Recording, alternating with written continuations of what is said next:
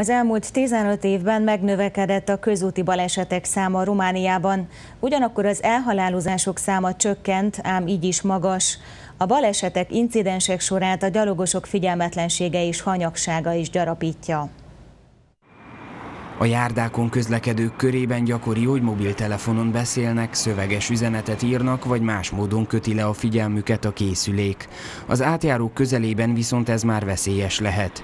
Sokan az átjáróig sem mennek el, mások nem néznek szét és úgy mennek át az átjárón, telefonnal a kezükben. Az érintettek is tudatában vannak tettük súlyával, de megtalálják a kellő kifogást. Igen, a kezemben van, de nem használtam. Hát igen, ez veszélyes, de a mai fiatalság eléggé mobilfüggő. Nem ütnek el, általában odafigyelek. Kijén János gépjárművezető szakoktató naponta több ízben is találkozik a jelenséggel.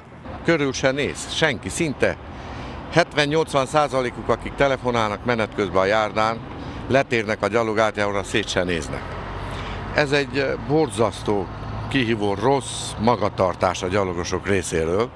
Kérem szépen, mert ha egy járművezető meg is akar állni, ő nem gondol arra ugye, hogy na ez most egyből letér és megy át a gyalogátjára. A gyalogosokat érintő balesetek negyedét ő maguk okozták az elmúlt öt évben, bár az esetek gyakorisága csökkenő tendenciát mutat. Csupán a fővárosban tavaly száz olyan baleset volt, melynek okozói a gyalogosok voltak. Arra vonatkozó információ, hogy ezekből hány esetben játszott közre a mobiltelefon használat, nincs.